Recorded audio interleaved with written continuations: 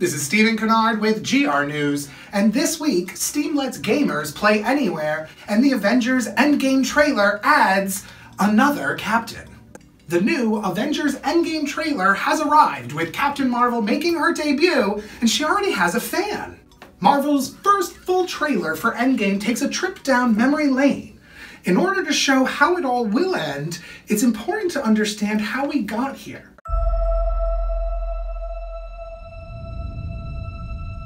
Like a thousand years ago. Through a montage of flashbacks, starting with Iron Man's origins and ending with the conclusion of Infinity War, it is very clear the Avengers are not finished yet. Now, they have Captain Marvel in their corner. The trailer does have a darker tone to it, but Thor helps to lighten the mood.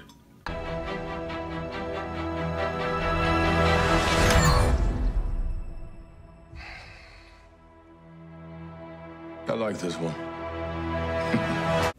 The internet's abuzz that this may be the final trailer, so we here at GR News will keep our thumb on the pulse of all things Marvel. New Steam Link Beta lets players stream on Android. The latest beta of Valve's new Steam Link app is trying to let gamers play PC games on their Android power devices called Steam Link Anywhere. The app is currently available on the Google Play Store, up till this point, players could only stream to their phones if the phone and PC were on the same Wi Fi network. With the Steam Link Anywhere, players can now take their favorite Steam library games on the go without local network restrictions. Isn't that awesome?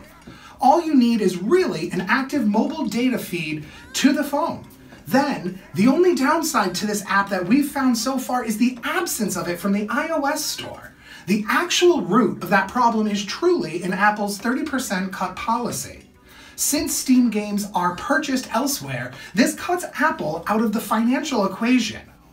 But those interested in how the Android Steam Link Anywhere beta should head over to look at the Google Play Store and download the app.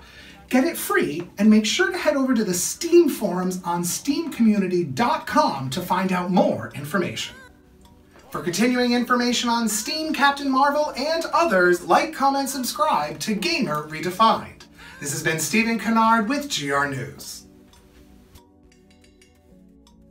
Like, comment, subscribe, and tune in every week for fresh content from Gamer Redefined.